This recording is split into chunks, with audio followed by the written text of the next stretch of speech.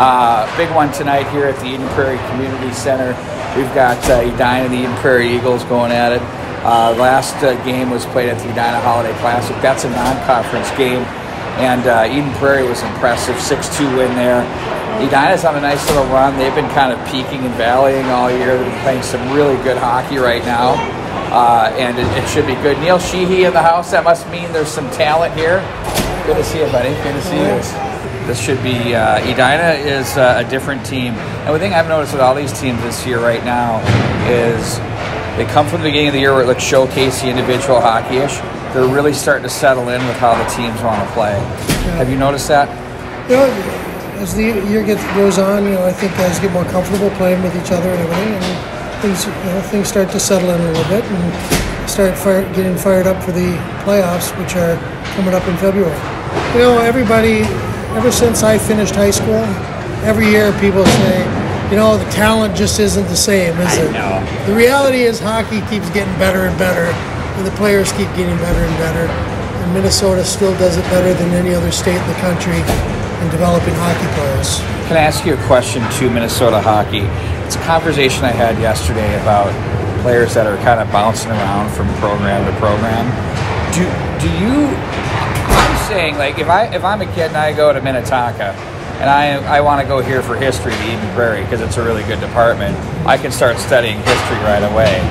Do you, do you think they should loosen that up and just admit it and let kids go where they want to?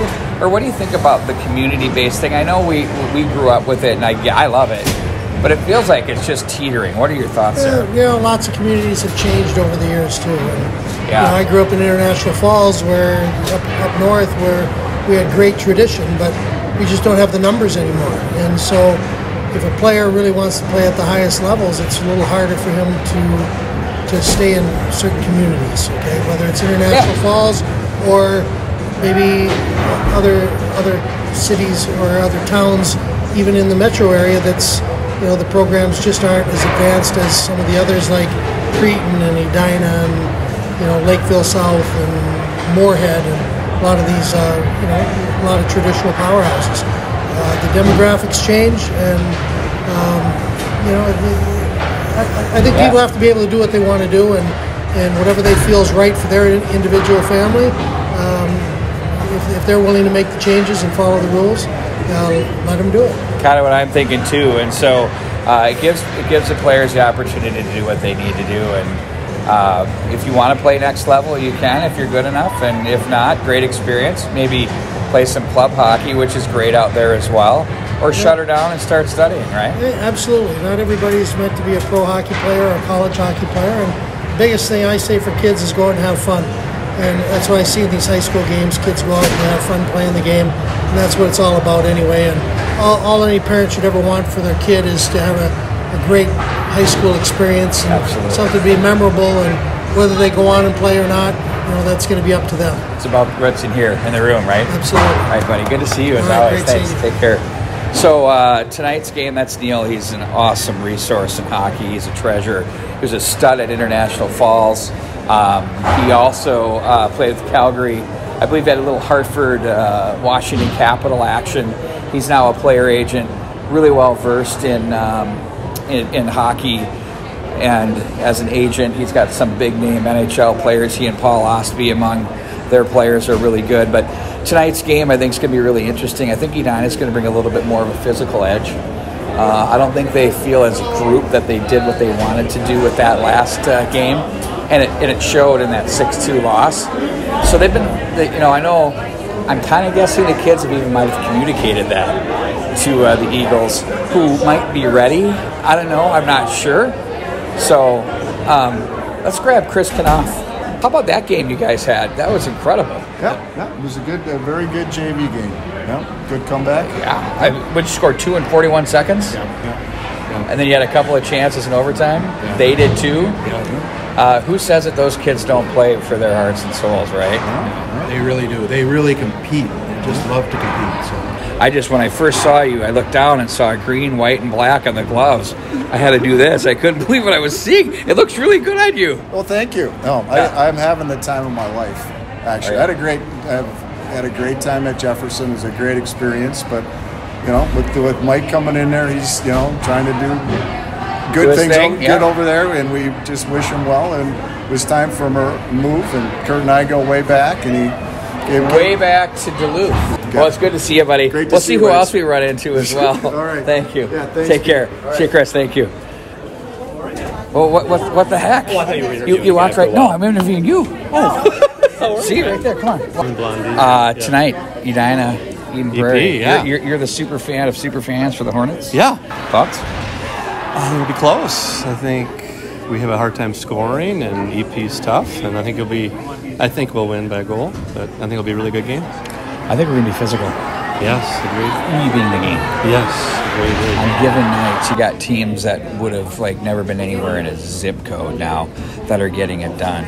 You, you, you you don't you know everybody wants it number one everybody wants to go through somebody you know, I think the sections are narrowing themselves down into the top two or three that you're seeing Yeah, but those top two or three don't necessarily mean that they couldn't be beat by four five or six True. seriously truth. we uh, we're getting ready for the game as we come upstairs to our lofty perch here at the Eden Prairie Community Center.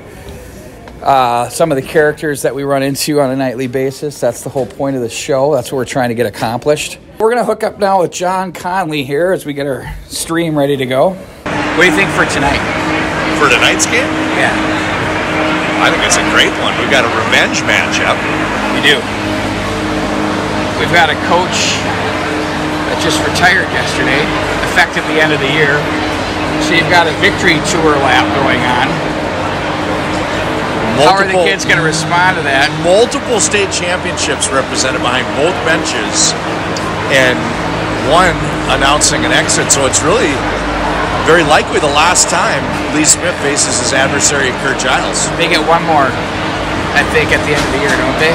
Not unless they would meet in the state tournament. Because their original game was the um, Holiday Classic.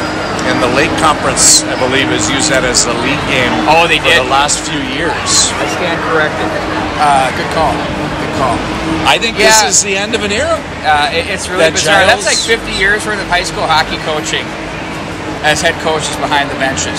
And Edina's Absolutely biggest incredible. Edina's biggest consistent rivalry has been Eden Prairie for the tenure of these two coaches. I believe, what were they, 7 or 8 0 or something? I was just going to say they should be upset and be looking for revenge because of what it looked like going into that game. If you remember, the Tuesday whatever Gold Grand Rapids was a very impressive, I think, five one win. Yep. And the next game was close against Elk River on the scoreboard, but certainly outplayed them. Yeah, it was closer than the scoreboard. And all indications were that this was an Edina team that might be capable, even though they had a hard schedule, close to running the table. Well, we were saying, I was And saying, that- who's going to beat them, and right? that and and actually Pete lost five of seven, and for the two wins, it was only a miraculous third period like, that what, bailed five them out. goals or whatever against Prior Lake. Prior So, Lake, yeah. and the other third Yep. period was a late comeback against Lakeville South. Yep. So if that's seven games, five losses, 21 periods, 19 of the 21 periods, Edina had trouble scoring, and it was Eden Prairie that started him on that downward trend. Yeah, and then now they've so they went here. Now they're well, they're going back up again. Or so we, or so we think. Yeah, right? because Like, then they lost they to didn't Wayzata in score against overtime. So the question is, looks as though against the higher English type teams, is it a problem for the Hornets to score? And that's the If question. you, if you scoreboard watch, yeah, so the Hornets, they have only had trouble scoring in the games where they've had trouble scoring, if that makes sense. Some Yeah, yeah, days yeah. it's off to the races and Katie bar the door, and others it's just a, a malaise and they can't quite break the funk. The Hornets this year have a weird distribution on the goals against, and we'll talk about that maybe during the game.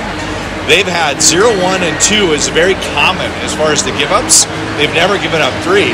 But they've had some, Yeah. when the games have gone against them, they've had 4, 5, and 6 against in an otherwise solid defensive team. So you just don't know, and that's what I'm here for. and then over the history of the Hornets, there have not been a lot of four, five, six goal games in any year.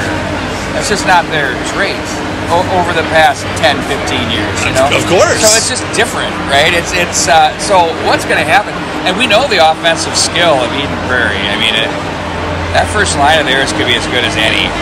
Yeah, uh, Teddy Townsend to me, if he doesn't look draft pick worthy as a 10th grader coming up here, I don't know who is or what is, but uh, and then you know he's a perfect blend with Andor, and then they've got the speed and strength of Luloff.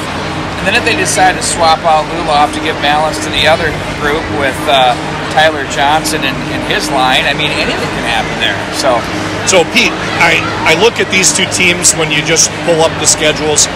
Edina's 12 and six. Eden Prairie's 11 and 7. Very similar schedules. Same. They both play everybody. Yeah. The Edina losses, they have they have uh, five games where they've given up four, five, or six goals, and otherwise do a great job keeping the puck out. So as the goals against go, so does Edina. And obviously, if you're scoring so much, you're not giving up any. So that's really the question when someone says, "What do you expect from Edina tonight?" I just don't know, and that's what makes it so exciting. Behind the D and go to work off the back of the net. Feinberg shot, save, scores! Oh, a seeing eye shot from Phil Feinberg. He's a magic man when it counts. It's two Eagles. It started with another bad bounce. We saw a couple earlier this period.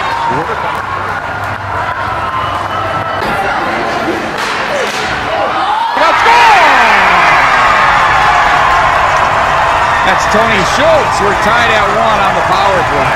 Schultz picks up the loose change. There was an initial save made by Korkowski. With it, off the glass. Oh, will that be a pool shot? And it is. They score! Oh, an empty netter. I mean, guys make millions of dollars to chip like that. The unbelievable.